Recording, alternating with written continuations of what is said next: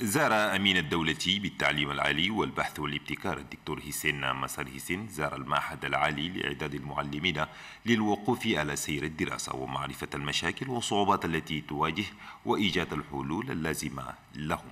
تقرير سعيد أحمد حسن.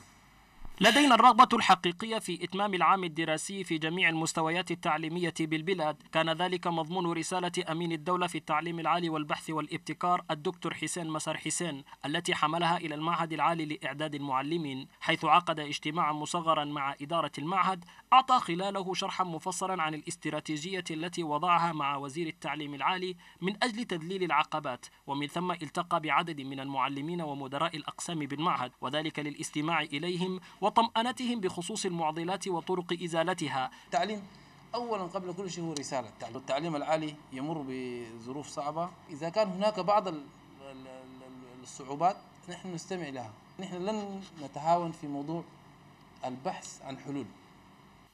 ومن ثم قام أمين الدولة بالتعليم العالي بزيارة بعض الأقسام والفصول. ونحيطكم علما بأن هذه الزيارة ستشمل عددا لا بأس به من المؤسسات التعليمية بالبلاد منها الهيئة الوطنية للامتحانات والمسابقات.